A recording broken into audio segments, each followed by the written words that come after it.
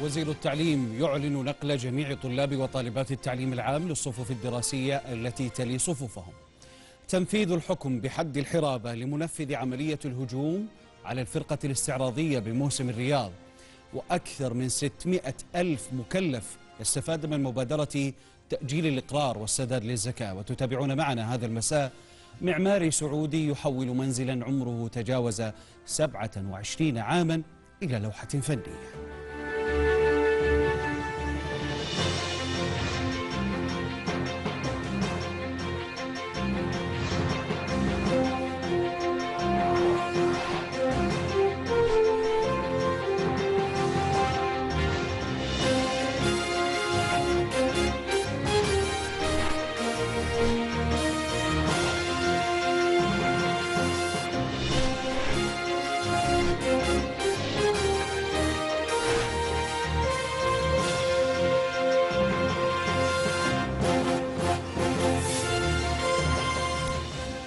هلا من هنا البداية حياكم الله. أنا جمال المعيقل ورحب بكم في حلقة جديدة من يا هلا. البداية من بيان وزارة الداخلية إذ أصدرت وزارة الداخلية بيانا بشأن تنفيذ حكم القتل بحد الحرابة في الرياض بحق المقيم اليمني عماد المنصوري الذي نفذ هجوما إرهابيا بآلة حادة على على إحدى الفرق الاستعراضية المشاركة في موسم الرياض. وطعن أحد أفراد الفرقة وأحد حراس الأمن. وهو ما دعا إلى ترويع الناس وإحداث الفوضى والرعب في الحضور بتكليف من أحد قادة تنظيم القاعدة الإرهابي في اليمن وانتمائه لذلك التنظيم واشتراكه معه في القتال. ولأن ما أقدم عليه يعد ضربا من ضروب الحرابة والإفساد في الأرض فقد تم الحكم عليه بإقامة حد الحرابة وأن تكون عقوبته القتل.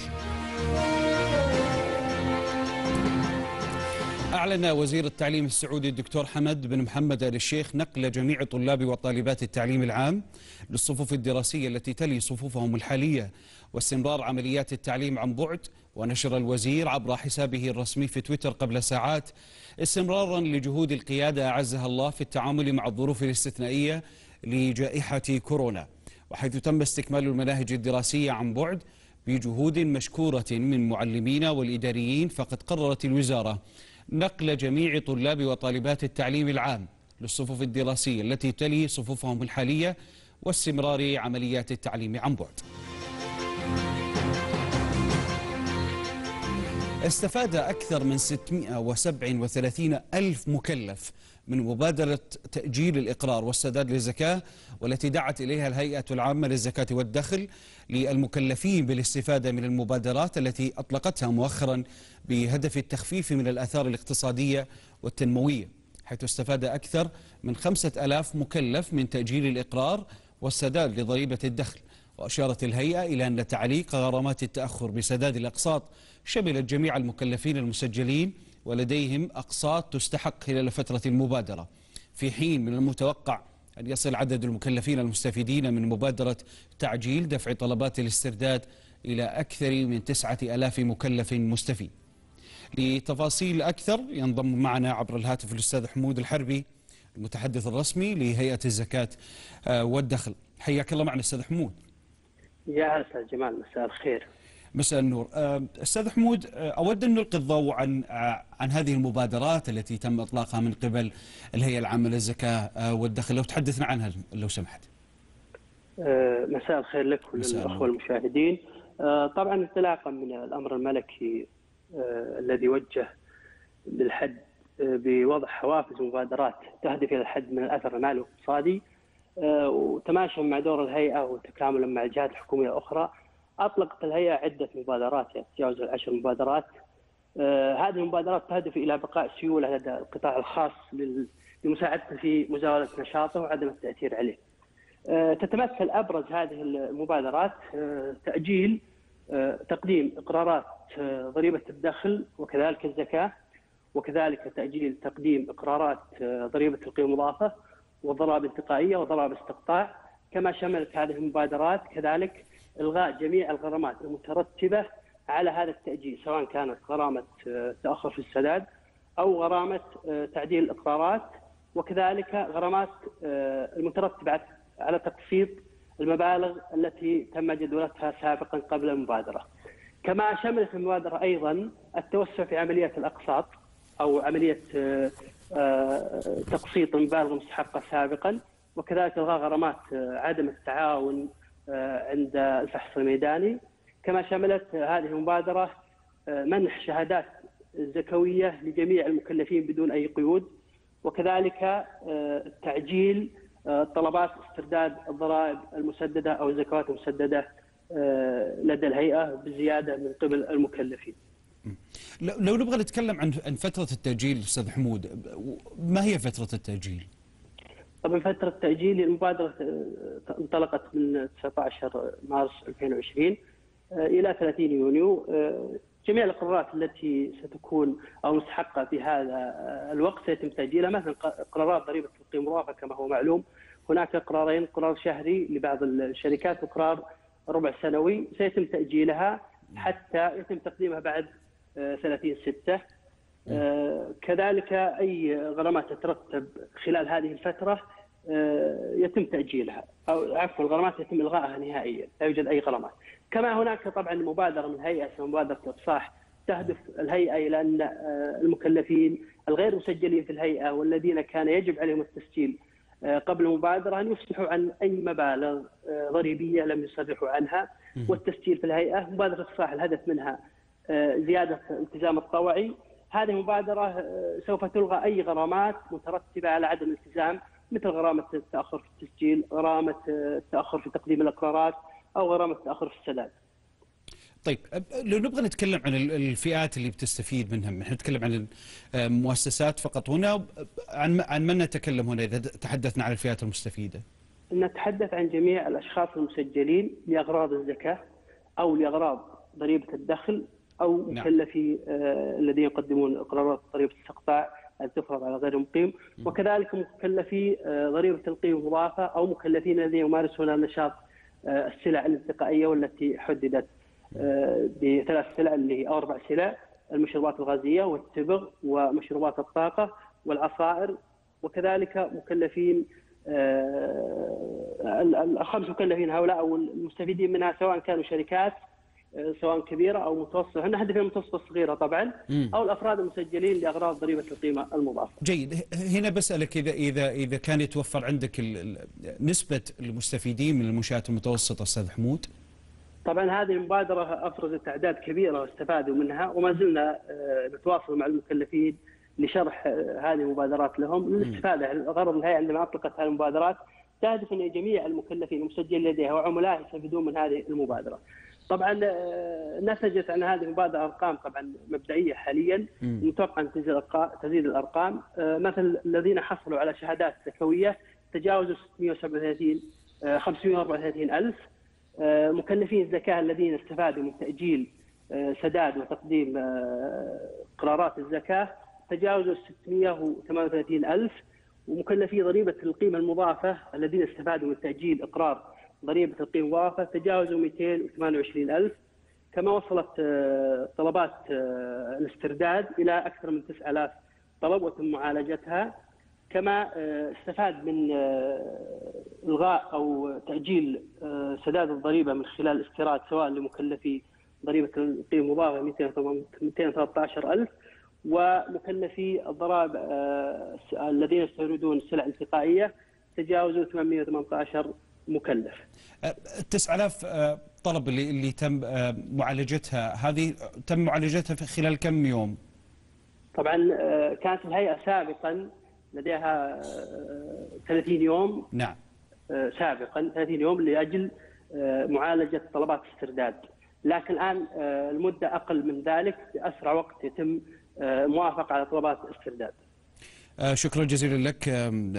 وشكرا لجهودكم أستاذ حمود الحربي المتحدث الرسمي لهيئة الزكاه والدخل.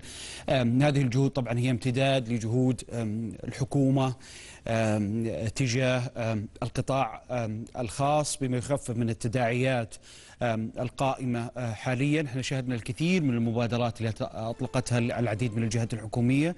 تأتي مبادرة هيئة الزكاة والدخل اليوم لتضاف إلى هذه المبادرات التي تهدف اليوم إلى دعم وتحفيز المؤسسات الوطنية وتحديدا كما ذكر الأستاذ حمود المنشآت المتوسطة والصغيرة جهود مباركة من قبل الحكومة. هدفها الأول هو المحافظة على اقتصاد متين. وأيضا تخفيف من الأثار التي نعيشها اليوم في ظل أزمة كورونا. ننتقل وإياكم في هذه اللحظات. كما اعتدنا نستعرض إيجازا عن المؤتمر الصحفي لوزارة الصحة المؤتمر اليومي عن آخر إحصائيات فيروس كورونا المستجد. نتابع.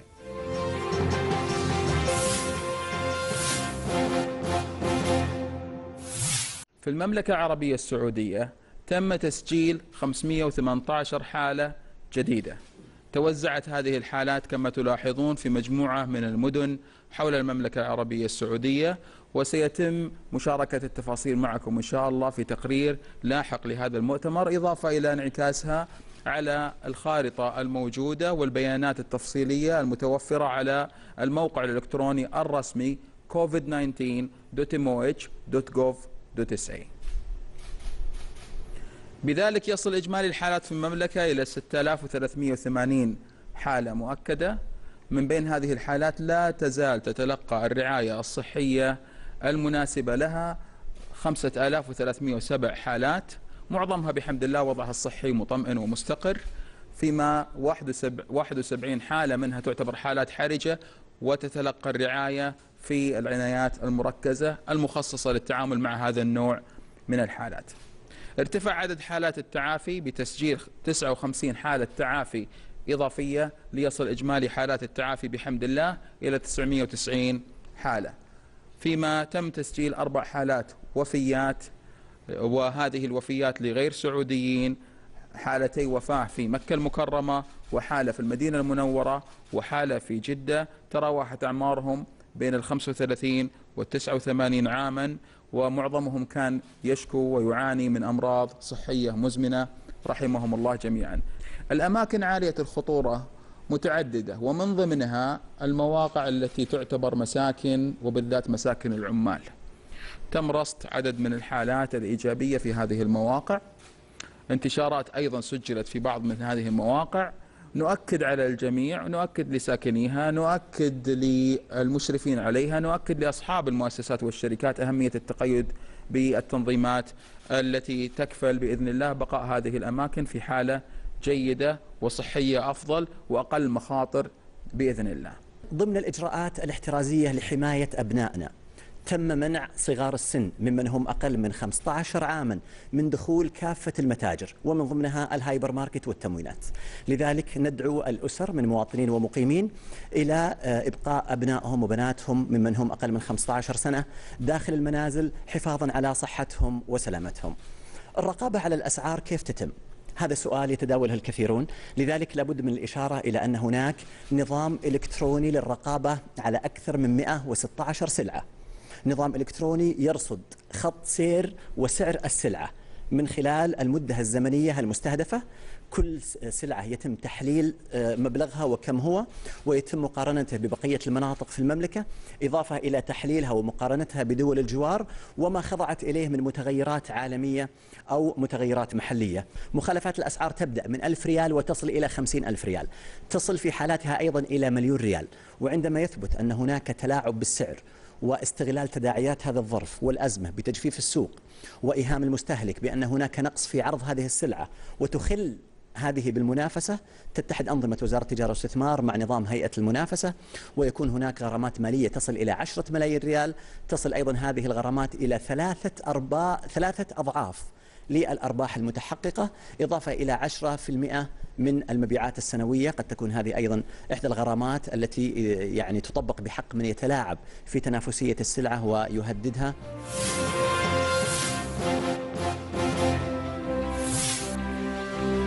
فاصل.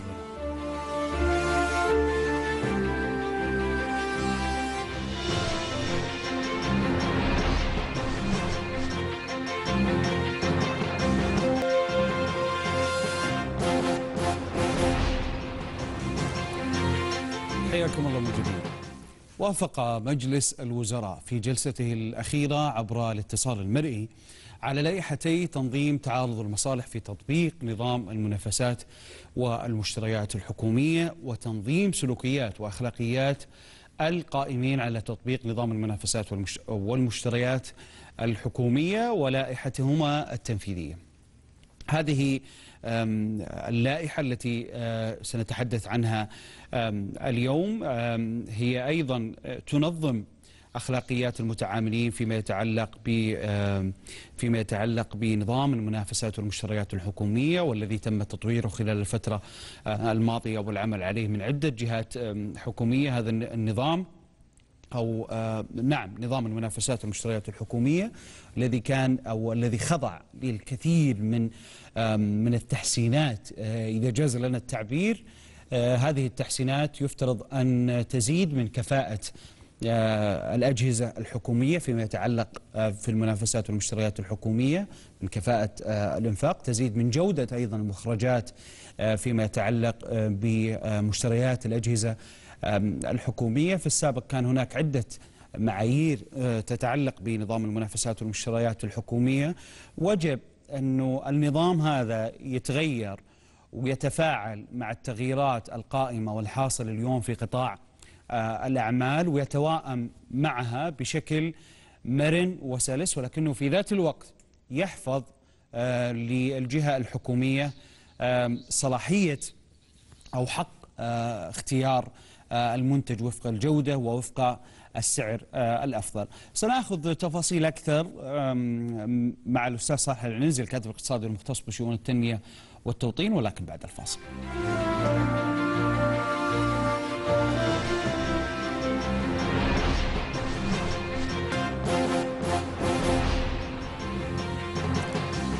حياكم الله من جديد. حديثنا عن لائحة تنظيم أخلاقيات القائمين على المشتريات الحكومية التي أقرها مجلس الوزراء مؤخرا ينضم إلينا عبر سكايب الأستاذ صالح العنزي الكاتب الاقتصادي والمختص بشؤون التنمية والتوطين. حياك الله أستاذ صالح.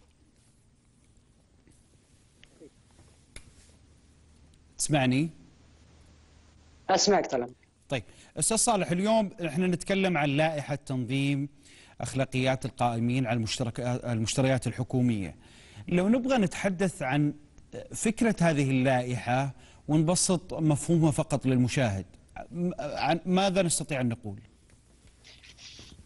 آه القائمة آه هي مكملة لكثير من ما قبلها. آه خلينا نبدأ بمبدأ سيادة القانون. مبدأ سيادة القانون مبدأ أعلن سيدي ولي العهد. واعلنته قيادتنا الرشيده وهو مبدأ لن عنه.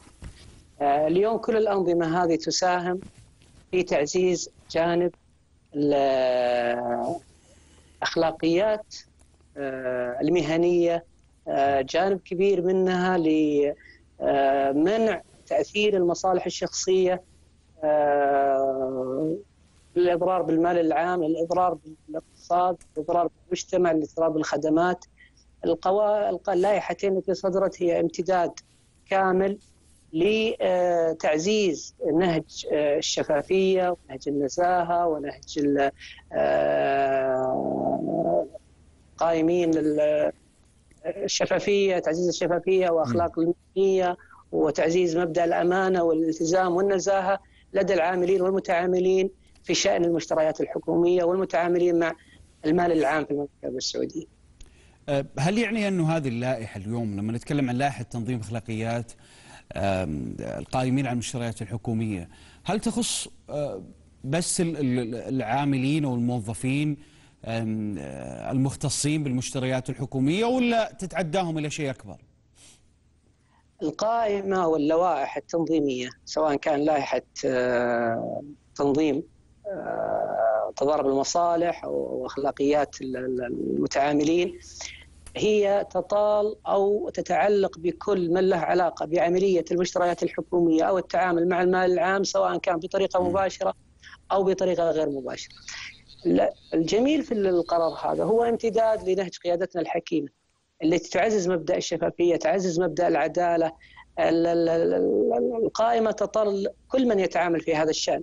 كل من يتعاطى بشأن المال العام أو الخدمات المقدمة من قبل الحكومة والإشارات الحكومية سواء كان من متعامل من موظفي القطاعات الحكومية أو حتى كمان من المتعاملين معهم من المقاولين والمتنافسين والموردين المتعاملين مع الجهات الحكومية. وهذه تؤكد أن لا أحد فوق القانون. هي آه تعزيز لمبدأ المساءلة الذاتية، مبدأ المساءلة المواطنية م. عند العاملين سواء كانوا في الأجهزة الحكومية أو الموردين والشركات القطاع الخاص المتعامل مع الجهات الحكومية. تكلمت عن تعارض المصالح هنا. هل يعني إنه هذه اللائحة فقط تركز على تعارض المصالح بين بين الموظف العام اليوم والتعاقد مع مقاول معين أم أنها تتعدى إلى أكثر من هذا المفهوم. إحنا نتكلم أخي جمال عن لائحتين وليست لائحة واحدة. أي أنا أتكلم عن أخلاقيات القائمين الآن. بالضبط. أي. أخلاقيات القائمين اللائحة الأولى اللي صدرت في القرار هي تتعلق في تنظيم أو أخلاقي. تعريف على الأولى تتعلق بتعريف تضارب المصالح أو المصالح المشتركة وتحط لها أطر وآليات مناسبة لها لكن بما أننا تتكلم أخي جمال عن أخلاقيات العمل لا هذه تتكلم عن تبني مبادئ النزاهة، مبادئ العدالة، مبادئ الشفافية في التعامل في شأن المشتريات الحكومي سواء كان من المتعاملين من الجهات الحكومية أو المتعاملين معهم من خلال القطاع الخاص. فهي تتكلم عن تعزيز لنهج الشفافية، تعزيز لنهج العدالة، الالتزام مبدأ الالتزام الشخصي، التزام المواطنة عند المواطن السعودي سواء كان في الجهاز الحكومي أو كان في القطاع الخاص. كيف كيف كيف تنظم هذه اللائحة هذه العملية أو اللائحتين؟ كيف تنظم عملية المساءلة والنزاهة والشفافية؟ كيف نضمن؟ وش الإجراءات اللي تطبقها اللائحة عشان نضمن الوصول لهذه النتائج؟ آه طبعا المبدأ الأساسي المبدأ الأساسي في هذه اللائحة أو لائحة اخلاقيه المهنية هي آه تدعو أو تلزم أو تضع مسؤولية على كل متعامل من بشأن المشتريات الحكومية أن يكون ذو حساسية عالية تجاه شبهات الفساد أن يكون لديه المبادرة للامتناع عن أي فعل أو أي تصرف بقصد أو بغير قصد أو بجهل الأنظمة قد يؤدي للإضرار بمصالح المشتريات أو مصالح الدولة أو الإضرار بالمال العام. فاللائحة بمجملها وكل قوانينها وبداتها هي دعوة وحافز وتحفيز وتشجيع للمتعاملين ليتوخوا أعلى درجات الحيطة والحذر وحساسية الحساسية المواطنية عندهم في التعامل مع شأن العام. الإبلاغ فيها بنود تتكلم عن كيفية الإبلاغ، كيفية الرصد، كيفية الحذر من بعض التصرفات بجملتها. ولكن الهدف العام هو خلق هل هل هل حافز لدى المتعاملين ليكونوا أعلى درجة بالحذر والحرص والحساسية تجاه التعاطي بالشأن المجتمعي والمال العام. نعم. تقرر اللائحة أنه على الجهة الحكومية وبالتنسيق مع وزارة المالية أن تضع سياسات لتعارض المصالح تهدف إلى الحد من مخاطر من من مخاطر ومعالجة حالاته. أيضا هذه الإجراءات تتضمن منع تعارض المصالح والحد منها والإفصاح عنها واكتشافها.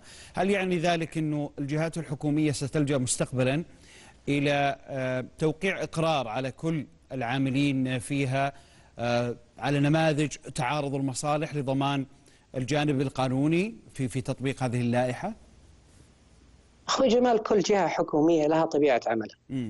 ولها ولها نشاطها المعين ولا واللوائح والأنظمة. يجب أن تكون تراعي طبيعة عمل النشاط، طبيعة احتياج المشتريات لدى النشاط، طبيعة حجم المتعاملين عند النشاط، هذا الموضوع إلى الآن نتوقع مثل ما قلت إنه كل جهة لازم تضع المعايير، تضع اللوائح الداخلية لموظفينها، ولكن الحكم على كيفية وضعها أو ما هي المعايير التي تضعها كل جهة حكومية، إحنا نثق إنها ستتوافق مع متطلبات كل جهة وبالنهاية كل جهة من جهات لها طبيعة نشاطها لها الخدمه اللي تقدمها فراح تختلف المعايير من جهة إلى جهة.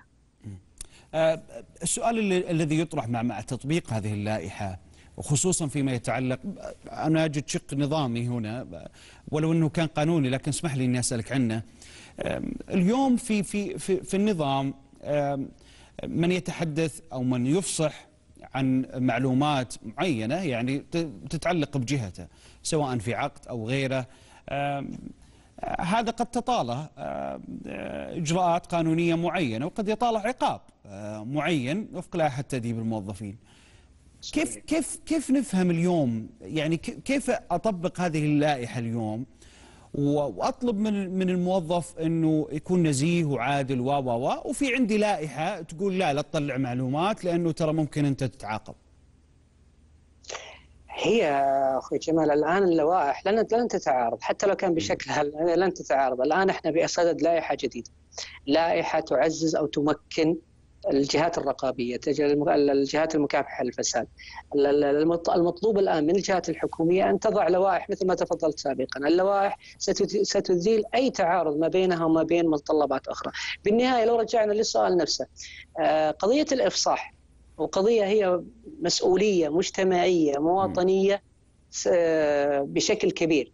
اليوم ما تقدر تقول لمسؤول حكومي أو موظف حكومي أنت لا تبلغ عن أي شبهة فساد أو مخالفة إدارية لأنه أنظمة الجهات تعاقبك، لا هو مطالب. بحكم المواطنة بحكم النظام بالإبلاغ. الجهات المختصة عن أي شيء ممكن إنه يلاحظه أو شبهات الفساد والرياء، فأنا ما أشوف في تعارض ما بين عدم الإفصاح لأن الإفصاح له جهته افصاح عن أسرار الجهة أو أعمال الجهة الحكومية يختلف تماما عن الإبلاغ عن الحالات الاشتباه. وإحنا مثل ما قلت إحنا ننتظر اللوائح اللي ممكن تصدر اليوم من الجهات اللي تحد تحط آه، إطار لعملية الإفصاح عن تعارض المصالح، الإفصاح عن أخلاقيات المتعامل في المجتمعات. تفضل. نعم.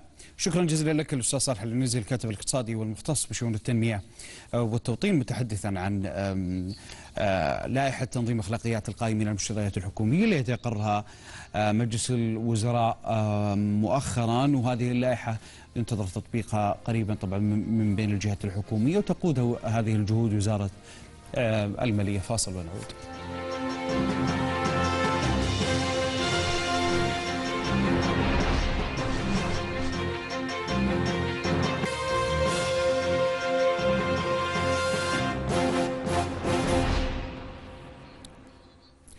حياكم الله من جديد. هذه فقرة محببة لي كثيرا وهي فقرة الاستشارات النفسية مع البروفيسور طارق الحبيب وهو بروفيسور واستشاري الطب آه، النفسي. نتحدث فيها ونحاول الإجابة عن كثير من التساؤلات التي تشغل الكثير من المجتمع آه، السعودي. انضم معي عبر سكايب البروفيسور طارق الحبيب. حياك الله بروفيسور.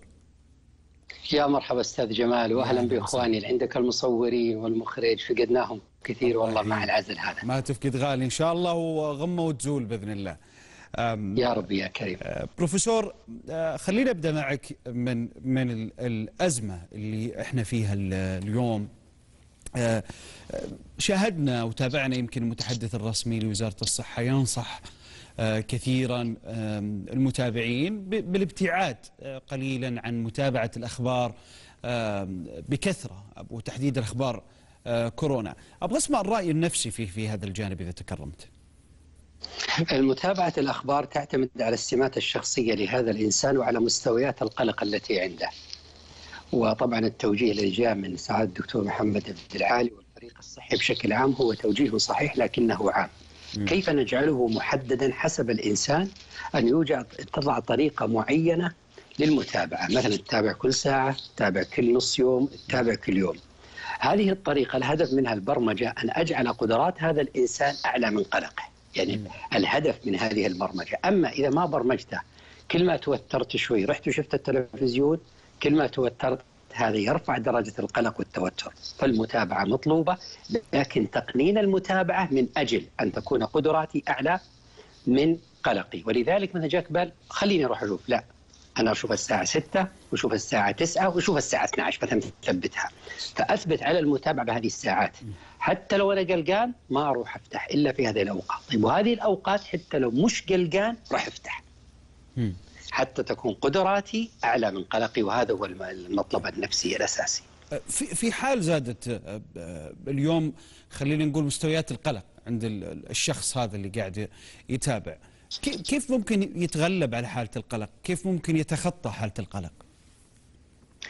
للقلق بشكل عام طرق معينة وللقلق العابري هذا طرق. للقلق بشكل عام تمارين الاسترخاء بأنواعها المختلفة الأمر الآخر ممارسة الرياضة الدورية بشكل منتظم وأقترح ألا تكون مرة في اليوم لمدة ساعة إلا ربع اللي هي المعتادة في العادة إنما تكون متفرقة لمدة قصيرة حتى لا يشعر الإنسان بالملل.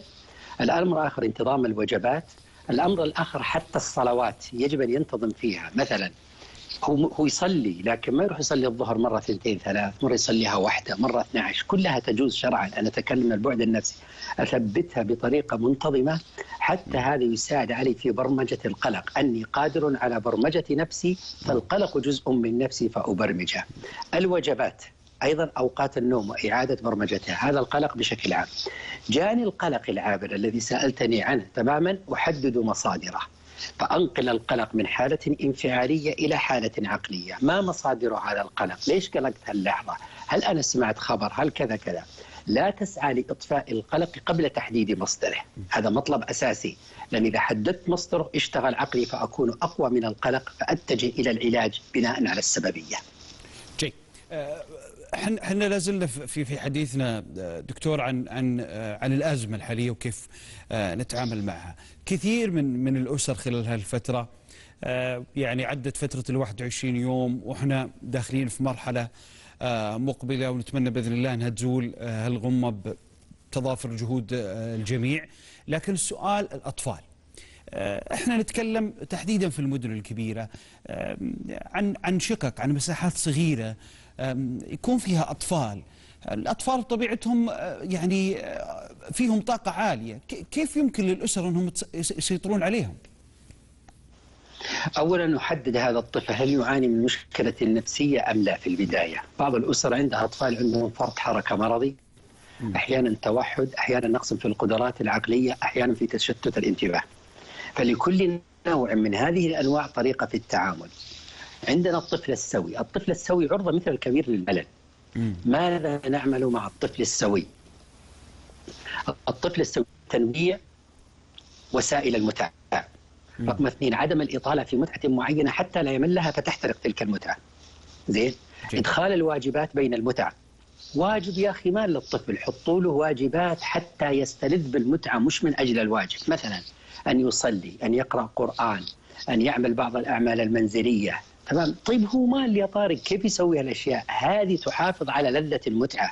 حينما نقطع متعة السوني أو غيرها بواجب معين يرجع للسوني ومشتاق فأنا جعلت السوني يعمر أكثر. ليس الفترة هذه فترة تربية أخلاقية كما يظن الكثيرين أو كذا. الفترة هذه أن تحافظ على ما حققت وأنبه لها. مثل المراهقة كثير من الناس يحقق مع طفله شيئا كثيرا داخل المراهقة بيحقق أكثر. لا حافظ على ما حققته. أنت داخل الآن مفازة صحراء ما تدري إيش يصير. فالمحافظة على ما حققناه نعم. بعض الناس يقول بحفظ أولادي قرآن نصيحتي لا. راجعوا ما حفظوه أو قرئوهم قرآن. تماما. الذي يعرفونه تماما. حتى نستخدمها كوسيلة على المتع الأخرى ونحافظ على ما أتقنوه من قراءة القرآن. هذه مبادئ أساسية في كسر هذا الروتين. الانتظام في النوم في وقته والصحيان في وقته. الواجبات لأن كل هذه تكسر الملل ملل لأن ربما الموضوع يطول ربما شهر شهرين. هذا فيروس إحنا نمشي وراه ما نمشي قدامه ونسحبه نعم. طيب الجزء المهم آه، نعم. اليوم يمكن بروفيسور برضو في في في ظل هالازمه العلاقة الزوجية آه، في في آه، ناس يتحدث اليوم عن علاقة زوجية يمكن أن تضطرب. في بعضهم يتحدث عن علاقة يمكن أن تشعر بالملل. هل يفترض أن الإنسان اليوم يحس بزيادة حب مثلا تجاه زوجته؟ يفترض أنه يحس بملل؟ كيف ممكن يتعامل الأزواج مع, مع هذه الحالة؟ عفوا. صحة. الله يبارك فيك. في فترة الحجر يمكن أن تزداد العلاقة الزوجية ويمكن أن يزداد النفور الزواجي. إذا حدثت إشكالية بين الزوجين أنا متوتر ومتضايق من الحجر. هي متوترة ومتضايقة من الحجر. وجاء لمها ورافع صوته أو زعلان منها. يا أخي أنا متوترة من كذا. طيب أنت متوتر من كذا يبدون يتضاربون. هذا خطأ. ما الذي يجب أن نفعله؟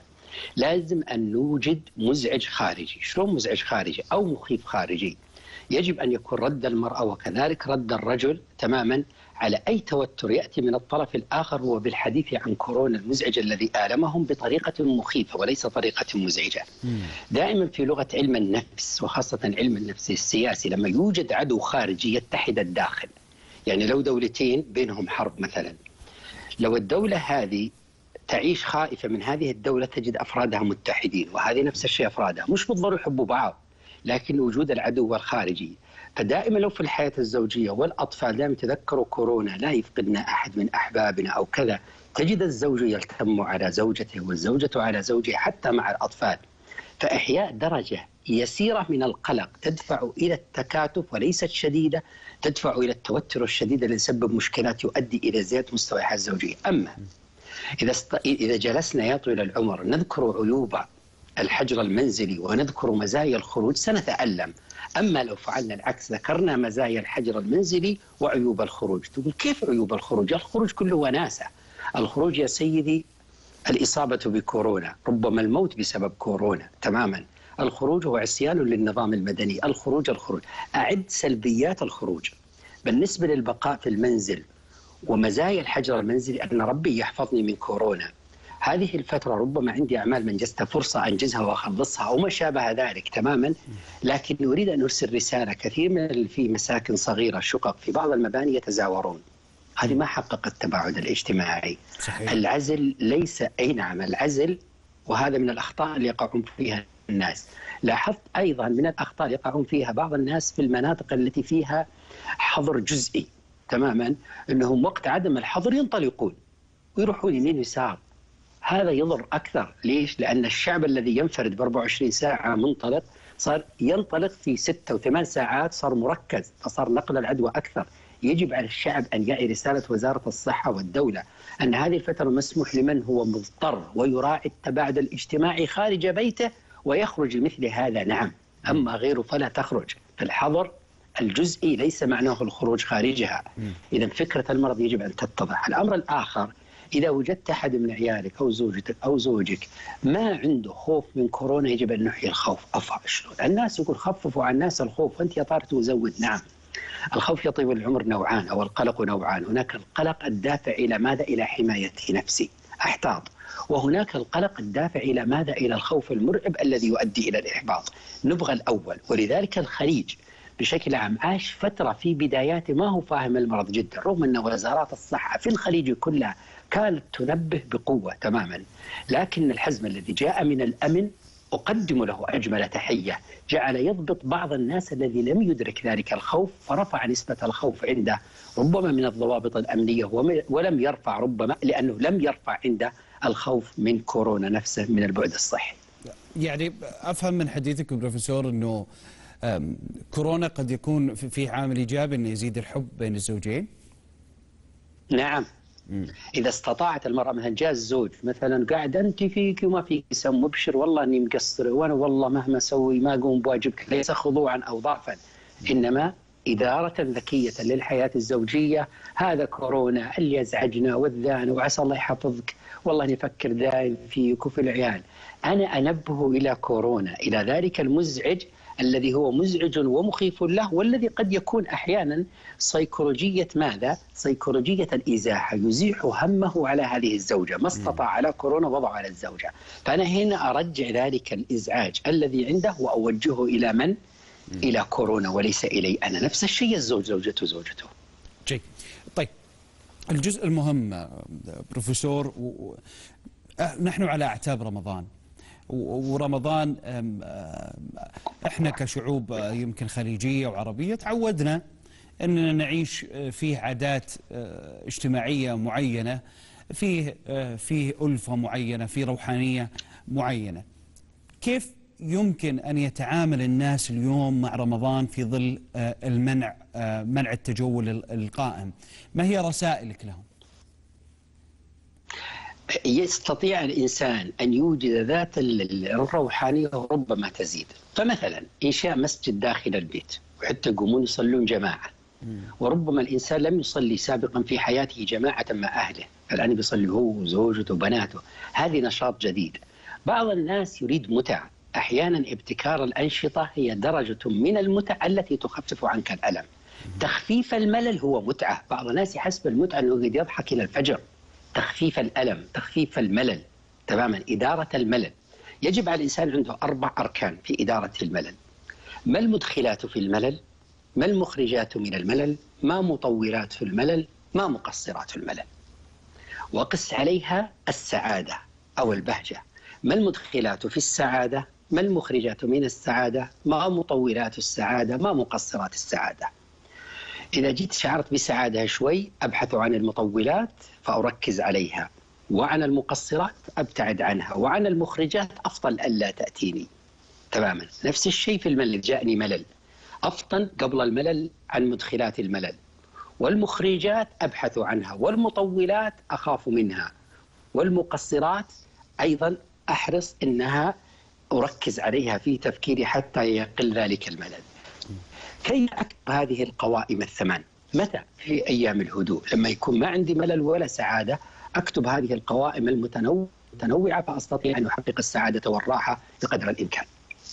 جيد أه، أعود بس معك دكتور إلى جزء مهم جدا وهو نعم. الأزمة اللي قائمة الآن. أه، في كثير من من الحالات اللي شفناها يمكن خلال الأيام أه، الماضية. يعني عنتريات وتحدي لرجال الأمن إطلاق نار عشوائي تعدي على على على حرمات الأشخاص والحمد لله إنه جميعهم تم القبض عليهم. السؤال اللي اللي أنا أطرحه أمانة يمكن يطرحه كثير من من المشاهدين اليوم. أه، هؤلاء الشباب في ظل هذا المنع ويمكن استدراكا لحديثك في بداية كلامك لما كنت تتكلم عن حجم أه، الأزمة الآن حاليا، هل يعاني هؤلاء الشباب من اعتلال نفسي؟ أحيانا بعض الناس يطول العمر يكون عنده اضطراب في الشخصية. اضطراب الشخصية سيدي هو على عدة أنواع. هناك اضطراب الشخصية الحدية المزاجية. إذا انقلب المزاج ممكن يتخذ قرارات لا تليق بذلك الإنسان. هناك اضطراب الشخصية شبه الفصامية. يسلك الإنسان سلوكيات غريبة وأفكار غريبة. فالإشكالية في سماته الشخصية. هناك الشخصيات السايكوباتية الإجرامية تستغل هذه الأزمات لمنافسة إجرامها. تماما. آه، بعض الناس عنده سرعة الاستثارة. فلما يمر عند رجل أمن وهو يؤدي رسالته يستثار. هذا يجب علينا أن نؤدبه. والأجمل في الدولة أنها سرعة التأديب. وقبل شوي أنا سمعت إقامة حد معين حد حرابة في أحد معين. أنا ما أدري وش القضية كانت. نعم. تماما. فسرعة إنجاز الحدود هذا الشيء عظيم. حقيقة لأنه يثبت أن هناك قرارات حازمة وأنها فاعلة وأنها تنفذ تماما. كل هذه الأمور هي أسباب. أحيانا بعض الناس هو مو مستبصر بالمشكلة تماما وبعضهم لا ربما عنده سمات الشخصية النرجسية وعنده سناب كذا ويستعرض بعض الأمور. ما هو مدرك أن القضية قضية أمن وطني قضية صحة أمة قضية دولة تماما؟ وهذا طبيعي ترى في كل المجتمعات أن يأتي بعض الشذاذ لفترة عابرة ثم تأتي ردة الفعل الحازمة القوية فتؤدب مثل هذا. لو عديت اللي صار بوطن السعودية لا يقارنون بما يحدث في الدول الأخرى.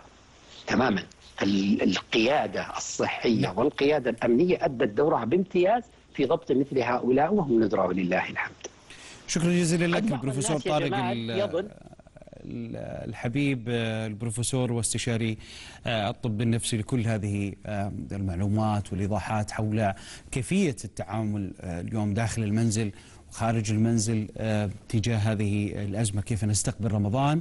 كيف نتهيئ لرمضان؟ كيف نتهيئ أيضا للعلاقة الزوجية؟ وكيف نسيطر أيضا على أطفالنا؟ والسؤال الأخير كان حول بعض التصرفات الشاذة لفئة محددة تحاول اليوم يعني بشكل أو بآخر تقويض كل هذه الجهود الحكومية التي آه، تعمل فيها كل الجهات من أبطال صحة من أبطال أمن من كل الجهات المعنية التي تسعى اليوم إلى الحفاظ على الأمن الصحي للمجتمع آه، السعودي فاصل ونعود.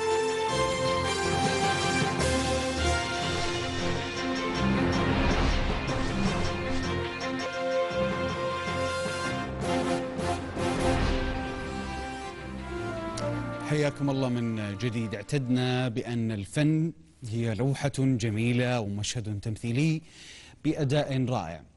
كسرت تلك القاعدة على يد معماري سعودي قدم في وسائل التواصل الاجتماعي مبنى سكني عمره 27 عاما كلوحة فنية بريشة رسمها معاذ أسطى بمحافظة ينبع الذي ينضم معنا عبر سكايب. حياك الله معاذ. الله يحييك أهلا وسهلا فيك وسهلا وشكرا فيك. أستاذ جمال على الاستضافة وأحب أمسي عليك وعلى الأخوة المشاهدين. الله يحييك، إحنا شاكرين لك تلبية الدعوة. آه، معاذ خلينا ندخل في نعم. الموضوع مباشرة يعني نعم. آه، الثريد اللي نزلته أو مجموعة التغريدات اللي نزلتها عن آه، طريقة ترميم المنزل حصدت كثير من نعم. من من الإعجاب وحصدت كثير من من التفاعل. أبغى أسألك بداية آه وهذا السؤال يمكن اللي يسالك إياه كل الناس أيهم نعم. أسهل الترميم ولا البناء من جديد؟ طبعا أحب أذكر في النقطة هذه إنه إنه مجالنا واسع ومجال العمران في أشياء كثير من ضمنها الترميم، الترميم تعتبر من أصعب الأمور اللي ممكن يشتغل عليها المهندس المعماري م. لأنه يحاول إنه آه، يتعامل مع شيء آه، غير واضح المعالم بالذات الأشياء المخفية داخل المبنى. نعم. فالترميم آه، فعلا هو شيء ما هو سهل صعب يحتاج وقت يحتاج دراسة دقيقة. آه، ليش لجأت؟ طيب الخيار الترميم يعني وش وش الأسباب اللي خلتك ترمم؟ الأسباب اللي خلتني ارمم أشياء كثيرة يعني لو نيجي نحصرها من من البداية هو مبنى إحنا عشنا فيه من الصغر. وشخصيا أنا وأنا صغير وقفت معاه مع الوالد الله يرحمه هو كان يبني المبنى. فتعاصرت المبنى من سنة 93 هو ينبني وعشنا فيه طيل السنوات الماضية 27 عام.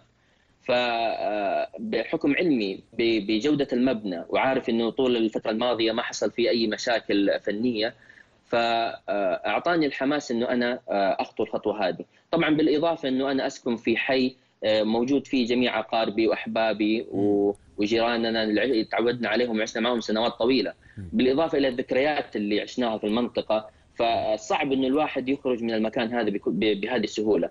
فمن هذا الوقت أنا بدأت أدرس الوضع وأتأكد إنه هل المبنى قابل للعمل وبعدها أقيم هل التكلفة حتكون أقل أو أكثر. فبعد دراسة آه، تفصيلية للمبنى. تأكدت انه حالته سليمة في جميع التخصصات سواء كان سباكة أو كهرباء أو آه، انشائيا.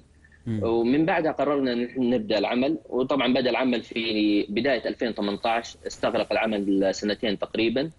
آه، وكنا عايشين فيه وكان هذا هو التحدي. كنا موجودين في نفس البيت آه، واشتغلنا طول السنتين وإحنا موجودين. معاذ أنتم بديتوا بديتوا العمل في في المنزل. يعني أنا بتكلم عن عن تحديدا يعني دائما التساؤل اللي عند الناس المقاولين جودة مم. المقاولين جودة العمل جودة المواد نعم. هذا الشيء وشلون تخطيته آه، طبعا بحكم عملي وخبرتي الطويلة في مجال في قطاع البناء والتشييد أنا خبرتي تقريبا 16 سنة فعندي الإلمام الكامل بهذا الموضوع والعمالة موجودة في كل مكان سواء كان في مدينة صغيرة أو مدينة كبيرة، لكن الإشراف الهندسي بالشكل الدقيق والتصميم المسبق هو اللي حيعطينا النتيجة اللي إحنا شفناها. أي. فما في شيء صعب وما في شيء مستحيل إذا كان في طاقم إشرافي متكامل. أه، معاذ في كلام الآن عن وسائل البناء الحديث، أه، طرق البناء الحديث. أي طرق البناء الحديث اللي اليوم استخدمها معاذ في بناء منزله؟ طبعا من الأشياء الأساسية المهمة الآن هي تعتبر من الاشتراطات اللي مطلوبة من من البلديات آه، وجود العزل. وأنا كان هذه نقطة مهمة بالنسبة لي إني أنا كيف أوفر في المبنى. ففعلا الحوائط الرئيسية اللي هي تعتبر الخارجية عملتها معزوله بالكامل. عزلت السقف من أول وجديد واستخدمت أحدث المواد فيها. بالإضافة إن أنا حولت المبنى من مبنى آه، معزول تقنيا إلى مبنى ذكي. الآن المبنى أنا أقدر أسميه يقرأ ويكتب. المبنى يعرف مين داخله ومين طالع منه. يعرف آه، متى وقت الشروق ومتى وقت الغروب. بيسقي الزرع أوتوماتيك بيرفع الستاير وينزلها في أوقات آه، النهار وفي الغروب بينزلها. فهذه كلها آه، إنه إحنا كيف نخلي المبنى معاصر ونقدر نعيش فيه في الوقت الحالي. كنت تركز كثير معاذ حتى في في في الصور. أنا شفت الثريد. كنت تركز تحديدا على الإضاءة وعلى وجود مساحات خضراء ليش؟ نعم طبعا إحنا مع الوضع الحالي اللي إحنا بنعيش فيه في جميع البيوت في في دول العالم الوجود المتنفس شيء ضروري وهذا من من الأشياء المهمة للمعماري يكون حريص وقت التصميم وقت ما يجلس مع العميل إنه يوفر المكان اللي يتنفس فيه العائلة. وجود الخضار في المنزل سواء كان بالداخل أو بالخارج شيء ضروري. ارتباط الإنسان بالبيئة المحيطة شيء جميل. الإطلالات من الفراغات الداخلية وخاصة القلب النابض للمنزل اللي هو غرفة المعيشة أو صالة المعيشة اللي إحنا بنجلس فيها ونربي أولادنا فيها ونعيش جميع الذكريات في هذا المكان يكون يكون إطلالته فعلا تستحق إنه واحد يقضي فيها ثمانية ساعات في اليوم أقل شيء وطبعا إحنا الآن بوضع الحجر بنعيش في وقت أطول. فأنت استفدت يعني يعني أنا ما أبغى أقول لك جاب وقتها يعني إن شاء الله إنه هالغمة تعدي علينا كلنا بخير إن شاء الله. يا رب. لكنه يا رب يا أنا أعتقد إنك استفدت كثير من المساحات. لكن خليني أسألك عن عن جزئية مهمة وهي قضية الإضاءة. في كثير من الآراء نعم. تقول لك إنه إحنا في في في مكان أو بيئة حارة بعض الشيء. يعني درجه الحرارة توصل عندنا 50 60 و... وأنت في ينبع زي ما ما فهمت. يعني نعم. كيف كيف تغلبت على على هالشيء؟ وهل بالفعل هذا يأثر اليوم عليك كساكن للمنزل؟ طبعا هو في الوضع الراهن الآن التقنية تطورت كثير. وجود العوازل فعلا صار يعتبر فعال سواء كان في الحوائط أو كان في الزجاج. مهما كبر الزجاج الآن في أنواع كثيرة وفي بتناول الجميع سعرها ما هو غالي. لكن بيعطيني فعلا إنه إطلالة جميلة ما بيدخل عليها حرارة بيدخل ضوء الشمس. طبعا دور التصميم المعماري رئيسي في إنه يوجه المبنى التوجيه الصحيح بخصوص الإضاءة والتهوية. فهذه كلها وطبعا في حلول ثانية اللي هي كواسر الشمس وأشياء كثيرة إحنا بنعملها على أساس ما تكون اشعه الشمس مسلطة بشكل رأسي أو مباشر على داخل المبنى. آه فهذه فهذه لازم لازم تدرس والآن متوفرة جميع الخدمات اللي إحنا نقدر نسويها في المبنى ونحل الإشكالية هذه. طيب في في في مدارس المعماريه معاذ اليوم موجودة في فيما يتعلق بالبناء. مدارس كلاسيكية مدارس مودرن زي البيت اللي انت عملت عليه. نعم. انت كيف كيف تشوف ثقافة البناء عندنا؟ ثقافة التوزيع توزيع المبنى ثقافة التخطيط. هل هي ثقافة تحتاج إلى إضافة مزيد من العناصر المعمارية اليوم؟ هل هل المشكلة اليوم أو التحدي اللي, اللي يواجهك أنت كمعماري هو في اختيار أي نمط أفضل ولا لا المسألة لها علاقة بالأذواق؟ هو صراحة يعني في الفترة الأخيرة لو نتكلم يعني في الأربعين سنة الماضية من وقت ما بدأ الناس تطلع من الأحياء القديمة وبدأت تطلع تبني مبانيها. اكتشفنا في هذه الفترة كانت المباني بتتكرر بشكل غريب وكلها بنفس النمط. وإحنا شكلنا هذه المباني والمباني للأسف إنه الآن اكتشفنا إنها غير صالحة للاستخدام الكامل. آه غير إذا جاز لنا نسميها غير مؤنسنة يعني بتشوف خرسانات بلك. صح صحيح بالضبط فهي خرسانات فراغات كثير مهدرة آه بدأنا بنعمل آه غرفتين مجالس مكفولة وبعدين صارت نص دور ووصلنا إلى دور كامل مهجور وطبعا هذا يستنزف الأموال والتشغيل والتنفيذ والتصميم طول الفترة هذه بيكون مكلف جدا وفي الأخير إحنا ما نستخدمه في أيام كثيرة. في بعض العوائل أو بعض البيوت معروف إن هذه البيوت بيجتمعوا فيها الأسرة أو الأصحاب. هذه لها حالة خاصة لكن نتكلم على عامة المنازل السعودية أو الخليجية كان في هدر كبير وكان في عدم دراسة المساحة. لكن الحمد لله الفترة الأخيرة كان في توجه جميل في الفترة الماضية إنه كان متوسط مساحات البناء 500 متر مربع كإجمالي. وهذا مؤشر جميل إنه الآن بدينا نستشعر بالمساحات الحقيقية اللي إحنا نحتاجها. وأتوقع إنه الآن مع الأزمة عرفنا احتياجاتنا حقيقيه. المواد مواد البناء إلى أي حد اليوم خلينا نقول تحد اليوم من من مساحة المنزل من شكل المنزل من تصميم المنزل؟ هل هناك علاقة بين المواد المستخدمة في البناء والتصميم؟ لا ابدا. المواد إحنا بنستخدمها كتوظيف جمالي ووظيفي بعضها ولكن هي غالبا للجمال. فالمواد بالعكس هي كلها مواد تكسية. أهم شيء صناعة الفراغ. المعماري هو بيصنع الفراغ. بنخلق الفراغات هذه على أساس إنها تكون مناسبة للإنسان ولرفع جودة الحياة. ولكن الخامات والتلبيس والشغلات هذه هذه كلها مجرد قشرة آه تختلف من ذوق لآخر وهي مجرد إبراز الجمال المعماري اللي إحنا نصممه. آه حولت بيتك معاذ من بيت تقليدي كلاسيكي لبيت ذكي ذكي تقنيا. آه لاي حد هذا خفف عليك التكلفة؟ هل هل فرق معك في, في مثلا على سبيل المثال في استهلاك الكهرباء في استهلاك المياه؟ هي عموما البيوت الذكية ما تخفف كهرباء قد ما إنها تكون سهلة الاستخدام،. ممكن تخفف بشكل جزئي لكن ما نقدر نتكلم إنها تخفف بشكل رئيسي، يعني مثلا بعض الأحيان إحنا ننسى الإضاءة الخارجية وننام ونصحى الصباح نقفلها. صح. ال ال النظام الذكي خلاص تحدد له أوقات. مثلا في إنارة الساعة 12 بالمساء تطفي أوتوماتيك. أنت موجود خارج المملكة داخل المملكة بتطفي. بتشرق الشمس بتطفي على طول بعض الإضاءات الخفيفة اللي هي تكون لما داخل المبنى وخارج المبنى. مثلا السخانات السخانات الطاقة الشمسية. هذه فعلا موفرة لكن هذه يعني نتكلم عن بند واحد من بنود كثيرة. نتكلم مثلا للري. الري بيعطيني مؤشرات كم لتر أنا بستهلك في اليوم للري. فمنها أقدر أستشعر وأعرف أنا كم بصرف في في البيت. ومنها أقدر أخفض. هو أصلا بيعطيني دراسات وبيشوف استهلاكي وبيرد علي. فهو أصلا المبنى الآن صار في عقل أو دماغ إلكتروني بيقرأ تحركاتي وبيقرأ استخدامي. حتى لو حصل يوم لا قدر الله تسريب في المياه بيعطيني خبر بيقول لي ترى في تسريب. وهذه الأشياء في السابق كانت مكلفة جدا لكن الآن بدأت ترخص وتصير في متناول الجميع. طيب إحنا بما أننا نتحدث عن العقل والتقنية يبغى لي أسألك هو السؤال المهم اللي يسأل الكل اليوم. التكلفة هل التكلفة كانت مرتفعة؟ يعني كم كم بلغت التكلفة للترميم كامل معاذ؟ آه بالنسبة للمبنى اللي اللي أنا نفذته. نعم. طبعا الترميم هو مجال كبير وواسع وصعب انه إحنا نتكلم على الترميم كناخذه كمثال ونبدأ نكرره في مباني مكررة. لو نيجي ناخذ مثال مبسط السيارة الآن لو جيت بشتري سيارة جديدة أسعارها معروفة وتتراوح من كذا لكذا حسب البلد المصنع والبراند.